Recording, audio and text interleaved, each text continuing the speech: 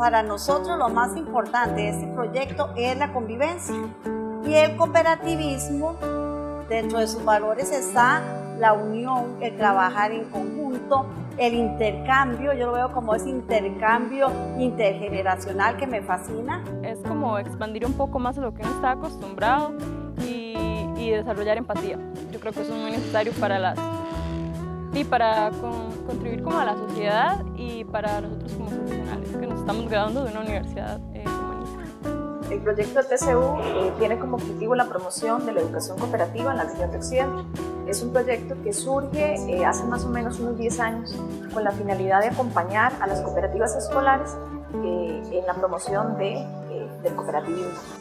Y en términos de las personas adultas con las que trabajamos, nos parece importante, digamos, promover o brindar espacios y alternativas de capacitación y acompañamiento a algunas organizaciones que requieren justamente de información o de eh, asesoría o acompañamiento para desarrollar sus propios procesos y sus propios eh, proyectos a nivel ya más de organización. Los proyectos que ellos tienen, los programas que tienen, son por medio de actividades varias. Entonces, tanto son las actividades de lo que es terapia ocupacional, donde vienen y trabajan en conjunto con todos los adultos mayores, ya sea con terapia ocupacional y terapia recreativa.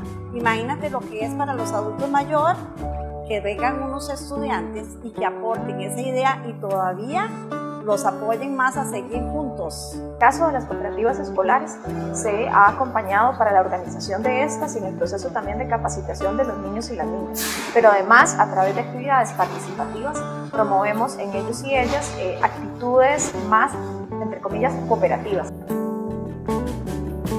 A uno lo ayuda a sentirse como más parte de, de, de la sociedad y tal vez salir un poco de, las aulas, de lo que uno está acostumbrado, de, la teoría y de, estudiar y de los compañeros y las poblaciones a las que uno está acostumbrado y obviamente tiene un impacto muy grande porque lo que uno hace no solo queda uno, sino es algo como que se comparte.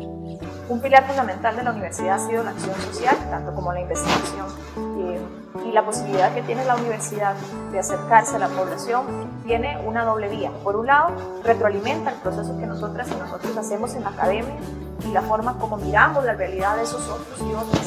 Y a la vez, en el caso de las comunidades, acercamos el conocimiento que la universidad ha ido generando y esto permite que ellos y ellas pues también tengan acceso a alguna información que de no ser por la acción eh, social no tendrían.